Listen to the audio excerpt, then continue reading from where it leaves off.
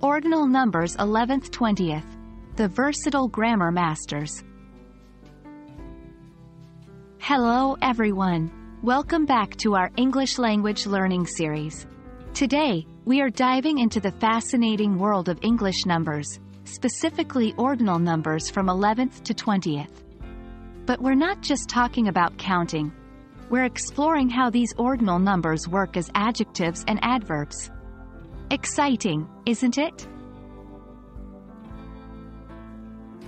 First off, let's refresh our memory on what these ordinal numbers are. Remember, ordinal numbers represent position or order in a series. So, for the 11th to 20th, we have 11th, 11th, 12th, 12th, 13th, 13th, 14th, 14th, 15th, 15th, 16th, 16th, 17th, 17th, 18th, 18th, 19th, 19th, 20th, 20th. Ordinal numbers are wonderfully versatile. One way we use them is as adjectives. When we use ordinal numbers this way, we're describing the position of a noun in a series. Here are a few examples to illustrate.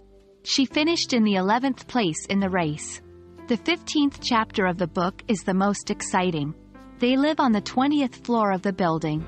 Note how the ordinal number comes before the noun and describes its position. Now, let's look at how these ordinal numbers can be used as adverbs.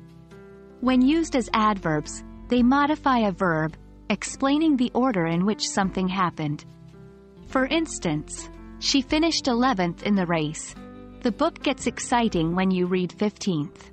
Their apartment is located 20th in the building. In each of these sentences, the ordinal number is modifying a verb to show the order of an action. And that's a wrap on our lesson about using ordinal numbers 11th to 20th as adjectives and adverbs. They're more than just numbers, aren't they? They help us create order, describe positions, and narrate sequences of events. So, keep practicing, and soon you'll be using these ordinal numbers like a pro. Thanks for watching, and see you in our next lesson.